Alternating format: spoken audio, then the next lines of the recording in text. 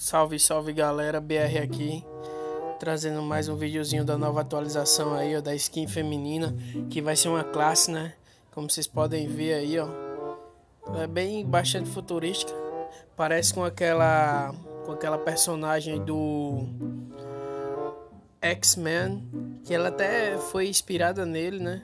Nela, quer dizer, foi inspirada naquela personagem lá do X-Men, que eu não sei lá como é o nome dela. Mas é uma classezinha bem. Eu acho que vai ser OP, bem apelona. Vai vir com as armas diferenciadas, como vocês podem ver aí, ó.